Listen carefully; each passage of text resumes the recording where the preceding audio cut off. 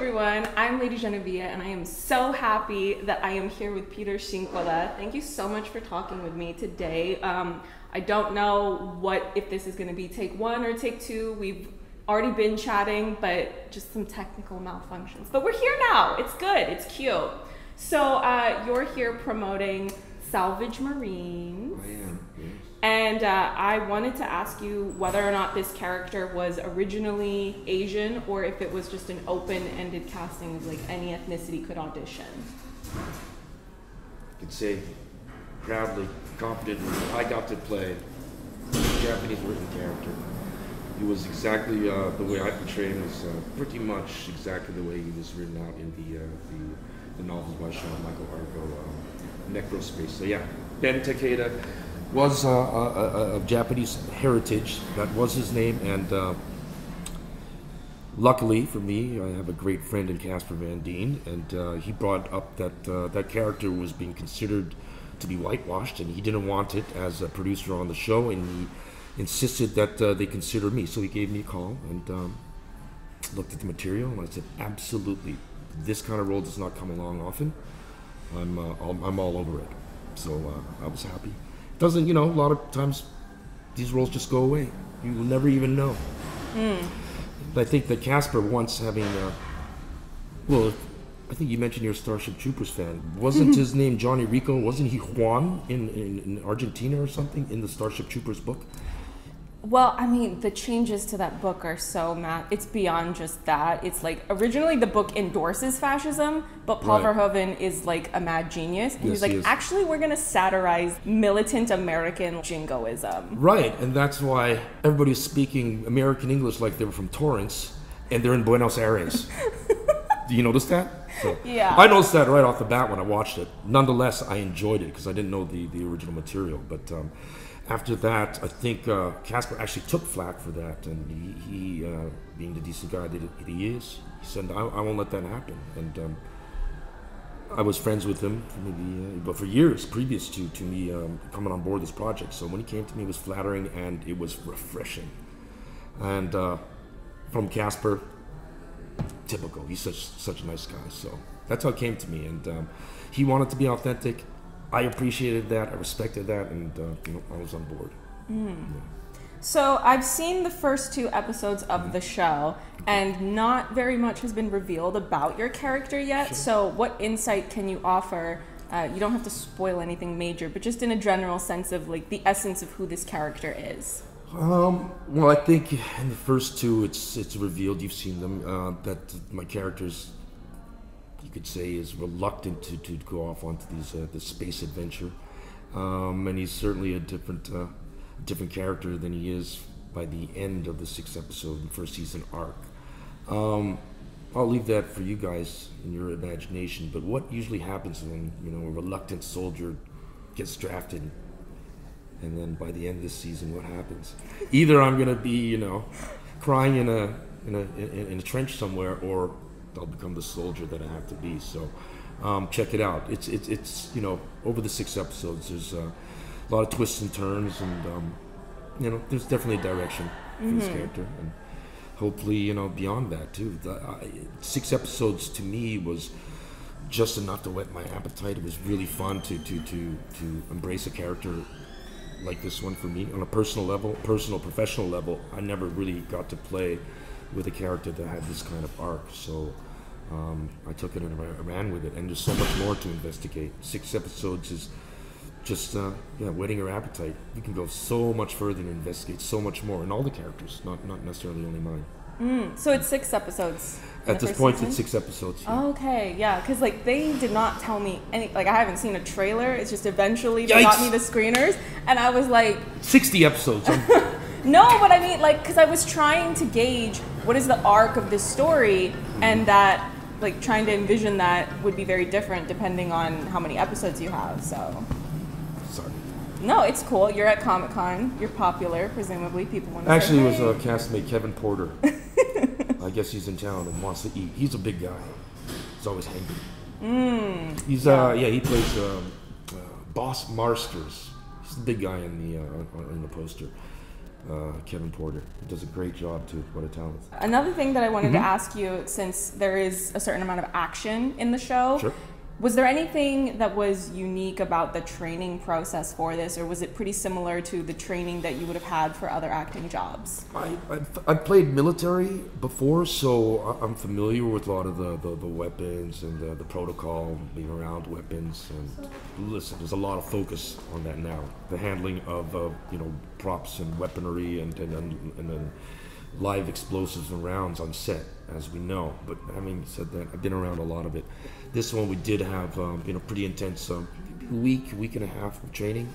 What made this one different was it was in the humidity of Louisiana in the dead of summer, so that made it excruciatingly un- dis- uh, you know uh, uncomfortable. That was uh, the the that was the only difference.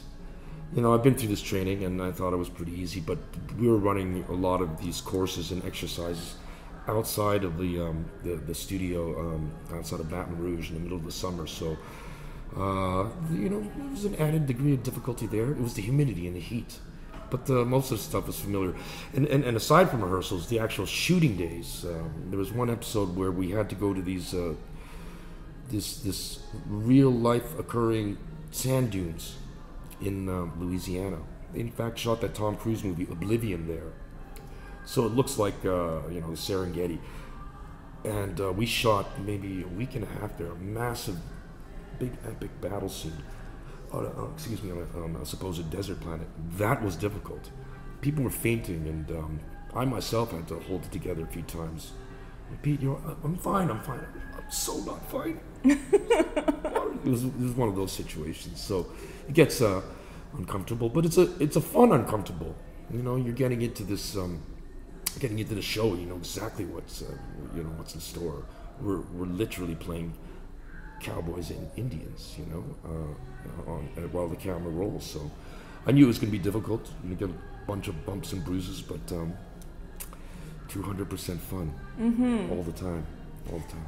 So, for those who are unfamiliar with the premise of the show, it's basically uh, people join this squad, I guess you could call it, uh, because they're in debt, and that's basically their only way of earning money to pay off this obscene debt to mega corporations. So, naturally, I observe a premise like that and I immediately think of the military industrial complex. So uh, beyond just the obvious of like, I'm not going to ask you if that's like relate, like it's so obviously you know intertwined. But Sure. I wanted to ask your opinion on a more philosophical level of, do you think that art that has that type of socio-political commentary, do you think it can change things, or do you think that it just kind of keeps us passive, where we have the catharsis by watching the thing, but then we don't actually go out and do anything? Both. Surely we're making this to entertain people, so there's that factor, and hopefully it does.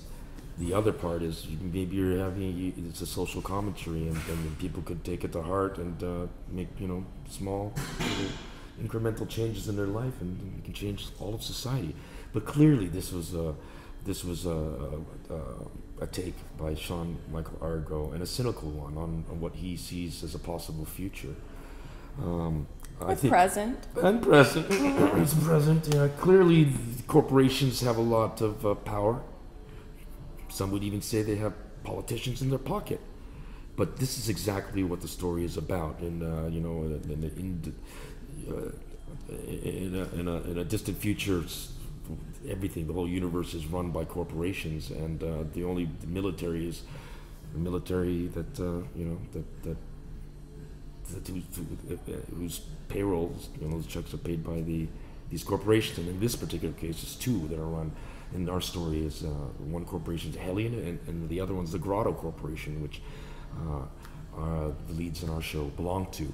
But they're always at odds with each other for, over, you know, uh, capitalistic, uh, you know, desires. So it's not that far off. It's almost a, a warning about what we are becoming. So I thought that was extremely clever. Um, and he built a real world around it over his uh, several novels, Sean Michael Argo. And uh, that was one of the most attractive parts.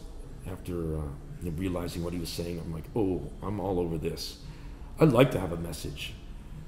uh, with all, with all the work. I just don't have that kind of um, opportunity, choice, or some would say the privilege of have, having different projects that you can pick and choose. But this one came along and it, it aligned with my politics and certainly my fears about the you know uh, impending future. Well, I mean, the House just voted to increase the annual military bill to over eight hundred billion dollars a year. So, like, Increased it again, huh? yeah. So, like, Canada's- I'm watching the show and I'm just like, Canada might invade. We don't know. can't, can't, be can't be too sure. Too no. I mean, the the imperialists in charge of both of those countries are best friends with each other. Like, I Oh. have no doubt about that. But you know, Canada, the 51st state. I'm Canadian. I can say anything I want about Canada. Yeah, of course you can. Well, Yeah. see, I have the, the unique privilege of talking trash about the U.S. government and the Japanese government, but we don't need to get into all of the specifics That's why that. this is a great complimentary sit down. We can say it all between the two of us. Yeah, I won't. I won't get into specifics because I'm not Yeah. going to drag you into my opinions. But just know that I have them because I do. And we're So- free to express them in this free world. Uh, just on a more like geeky trivia level, Yeah. did you work on Romeo Must Die? What is this bit of trivia I see floating around the internet? Because that is a cinematic masterpiece. I will not hear a single bad word about Romeo Must Die. It's a Okay. banger. No, no, no, no, no. Okay. No, no, no, no, no. Jet Li and Aaliyah in the club. I Like, know. It's a vibe. It's a vibe. It's yeah. They did it for the culture. It was everything. I was there through it all. Yeah, I was there because I was working at Warner Brothers as um, an editor in post production uh, the last few years of uh, the millennium, and I remember when I came across that script, I had access to all the shows that Warner was doing. I read it and I heard that they were going to greenlight it, and um, somewhere it came to me that they were choosing Vancouver as a location, being Canadian. I was like, mm, and uh, aspiring actor. I was like, oh. Then I found out uh, it was going to be Chinese versus Italians, then Italians versus black, and then Chinese versus Japanese. It, it changed so much.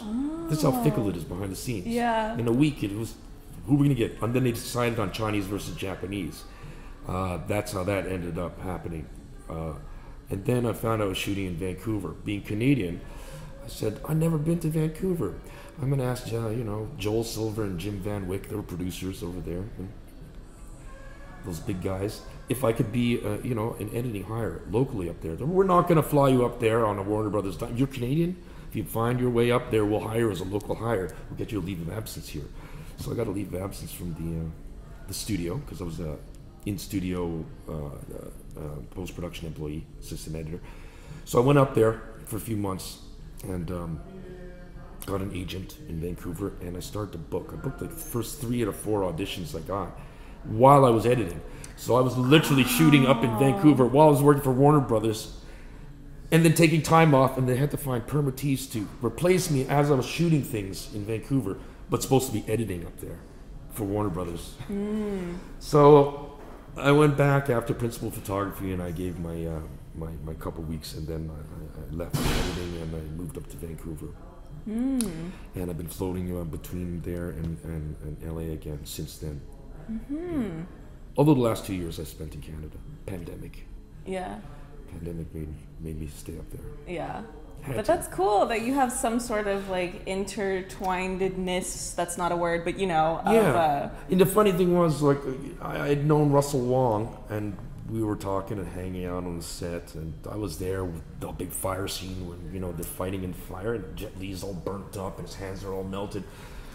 And then Aaliyah's mom was always on set, which was she was so sweet, and Aaliyah was sweet, and uh, can't believe it was only a year later she died.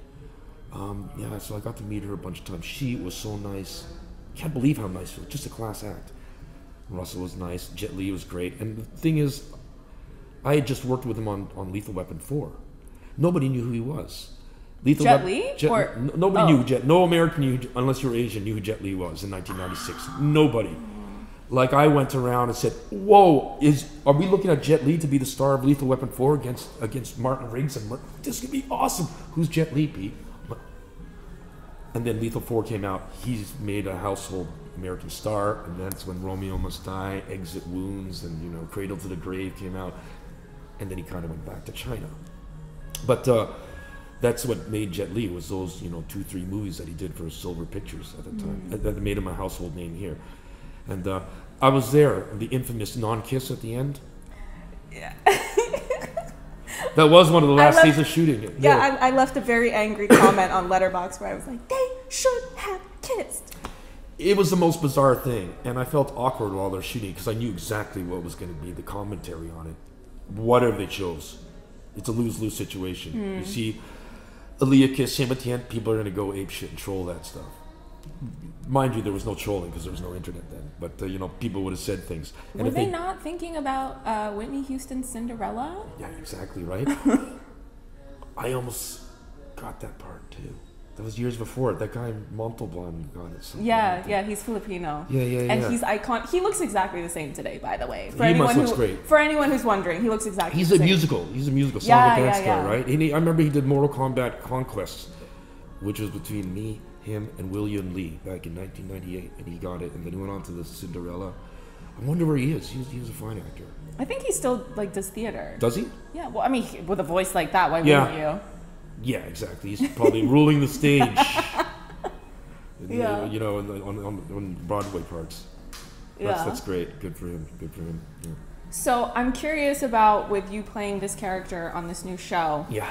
Was there anything that you feel like you brought to the character that was not on the page? Like something that you, as an actor, like, I don't know, you make a choice or you bring something out that isn't necessarily there? Because I've been starting to study a little bit more about different pieces of film production. And, you know, when you actually look at screenplays, they're kind of like bare bones. So there's a lot of room for actors to kind of fill things in and flesh things out more. Sure. Uh, well, parts aren't written like this for Asian guys in Hollywood. Usually, they're like I've seen the part I play here. The the uh, the archetype is out there in movies. A lead guy, and then always the the, the buddy.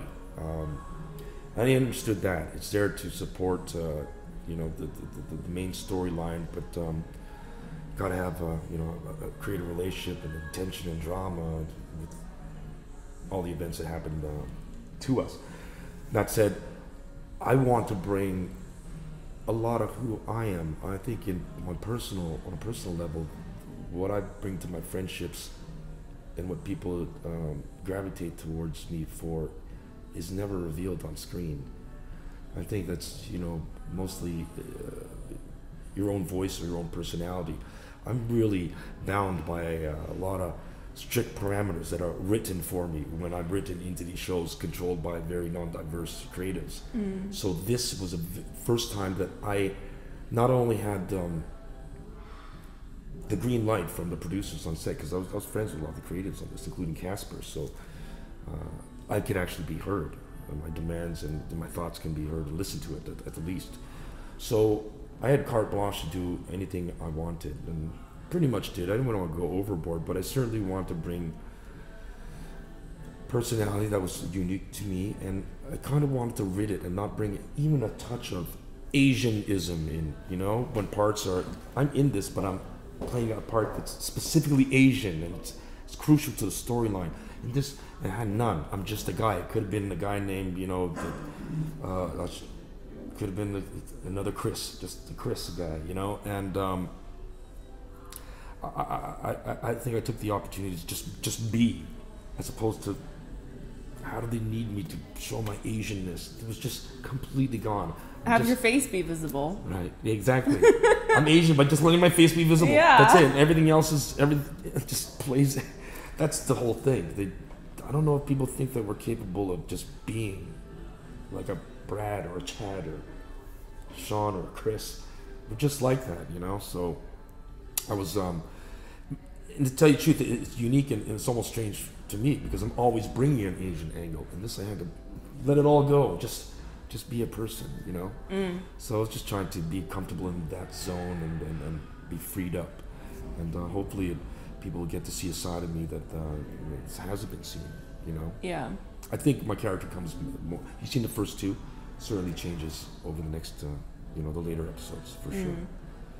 Yeah. Well, I mean, hopefully, as more people succeed in different areas, then I think once the numbers are higher, just how many people are in the industry and Mm. working, then I think you'll start to see it kind of be a little less rigid in how people get portrayed. Because even if it's people really act like it's a binary of like you're either Asian, like born and raised in the motherland, or you're diaspora, and it's like there's a whole spectrum. Like I don't really, I don't I don't really relate to a lot of like Asian diaspora because I feel like a lot of them are very determined to be accepted by whatever their diaspora country is and for me it's like I don't care about that at Me all. neither. Like I'm Japanese, I always say that I'm Japanese and I like I don't even like the, the not I don't I don't dislike the term just for anyone to use, but I personally don't identify with like Asian American because to me America is just stolen land from indigenous people. So like that's It but is. that's me. So. Yeah, it, it's weird because there's there's there's certainly a very majority group of Asian American celebrities or personalities that are kind of that flow together. I'm definitely I don't know. I kind of been iced out of that. I'm just me. I just do my own thing. I'm also unique, and as I'm Canadian, lots of times I get excluded because from things. I'm not Asian American. I'm actually Asian Canadian. Like there's a difference. Um, but I find that um, I'm an outsider in that sense as well. I mean, people have told me right when I arrived in Hollywood in the '90s, a lot of these ABCs, the American-born Chinese, go, "What? what- What? You're so hard to place. You got like this grunge hair, man, and you listen to the Cult and Guns N' Roses. You're like some Canadian rocker, yeah, Shinkoda. This is what they usually say, and I'm like, "Oh, okay. And you all listen to Keith Sweat and Boyz II Men, it, I, but I'm not remarking on it. I mean, when I say all of you, all 30 of you in my acting class all listen to R&B. Mm. But you're looking at me like I'm some anomaly weirdo with long hair. It's like we're all unique and different. But you want me to be part of this, you know, very. It's very clicky. I don't get kinda- it. Like I don't like clicky with clicky in any race. Mm. You know, that's just another version of kind of a racism. Uh, You know, to be clicky is kind of like it's exclusionary. I mean, my friends are from all over the place. Exactly, Like, like every day, it's like I'm messaging my friend in Scotland, Ireland, Right. Sweden, I- you know, all over the place. And I honestly believe that's that's the, the, the only solution to, to any kind of racism, just ongoing for centuries. It's just people fear. People fear. If you wouldn't fear, you would stand up for all your friends. If you just had a diverse group of friends. If you isolate yourself, you're not rich with understanding. Yeah. You're, love, you're, you're, you're very uh, you know of a, a myopic view of things. Um, in the end, the sociologists, the specialists say make friends, interact with people that don't look like yourself or don't come from the same walk of life. Think that's the ultimate solution. Seems like you're practicing it, so yeah. I try Well, to just hang out with people so different from me and be non-judgmental. That's really it, and listen. That's what I try to do.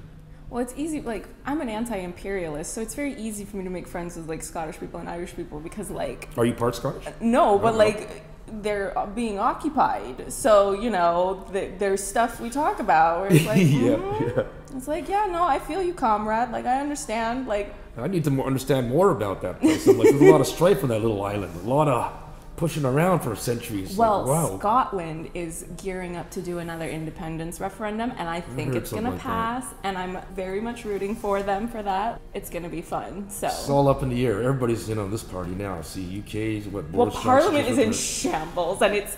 I mean, I shouldn't laugh because like there's a trickle down to how who that impacts, but you know. Sure, sure, it does. Everybody's impacting everywhere. I swear, the governments now are like the crazy weather around the world. Everything's just spinning out of control everywhere. You know, I guess uh, it's somewhat gratifying to me. It's like everybody feels that now. Everybody in equal parts. So it's kind of that's equality, you know. But clearly the world's in turmoil right now. Can't turn, can't bear to turn on the news. This that's why this SD, this SDCC is just refreshing Yeah. and uh, could it be timed better? You know, I'm like this is a good little break from the news outlets. The world. This news outlet is good, ladies and gentlemen. This is fun. But uh, the, the other real, real stuff, chilling. Yeah. Because of the fact that I don't know if it actually recorded, and I want to make sure that I do have something of me addressing it on camera, I do want to reiterate to you, even though I've already told you this, that I'm very happy for this opportunity to talk to you and to be able to you know, use my little platform to help promote something that you're in because of the fact that you were willing to put your neck on the line and speak the truth when it wasn't easy to do that. Because history, like I said before, Um, history will always look back on what you did and be like, he was right to do that. Um, a lot of, I think, the the show business or whatever whatever business when people speak out they're very like no it's bad because you're like you're making problems and whatever but it's like just wait a little bit longer and then eventually people are going to be like oh yeah no you were right. I go, listen to me now, believe me later. yeah I'm going, a lot of people, what I'm trying to do is uh, really inspire people to do the same and never let anything get by. If we all call out everything at once, it'll stop all at once. You know, um, I had people come back, and how do you say that? You know how much things I had puke inducing issues all for the last 30 years, Pete, and you didn't step up to one of those puke inducing moments?